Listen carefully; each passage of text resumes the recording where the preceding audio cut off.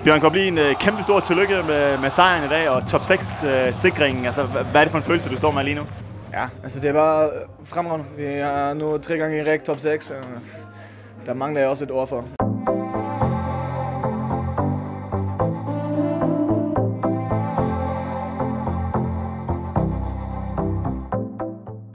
Det er bare virkelig dejligt arbejde fra alle i klubben. Fra kontoret til holdledere, til, til alle spillere, til trænerteam. Det er bare en kæmpe tillykke til alle. Også til fansen naturligvis, selvfølgelig. Der var også masser i dag med, altså det er bare fremragende.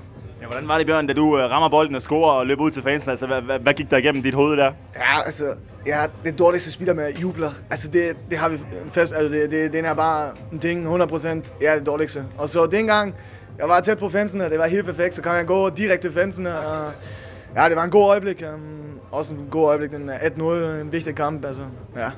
Hvordan var det derinde, Bjørn? Altså, vi scorer jo i anden halvleg, altså, går I at følge med i de andre resultater, eller, eller hvordan greb I kampen an?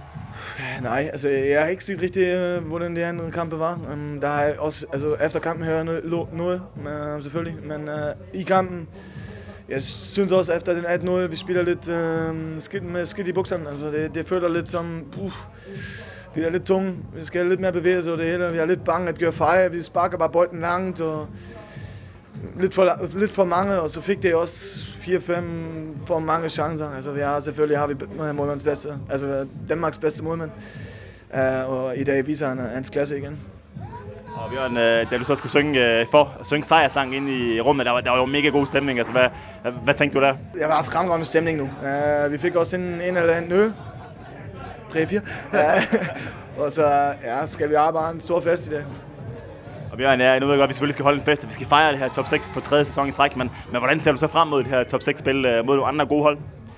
Ja, altså vi glæder os til, fordi vi har lidt, øhm, ja, lavet lidt skidt uh, sidste uge, så det må AGF, det skal vi vinde. Altså det, den er mest vigtig for os. Um, uh, selvfølgelig vil vi også lidt vinde lidt kamp. Altså, vi vil gerne lidt mere op. Uh, nu har vi plads 5. Sidste år fik vi plads 5. Uh, endnu værre. Og vi vil gerne lidt mere op. Uh, nu har vi chancen, så går vi også efter. Det lyder godt, Bjørn. Kæmpe stor tillykke med det.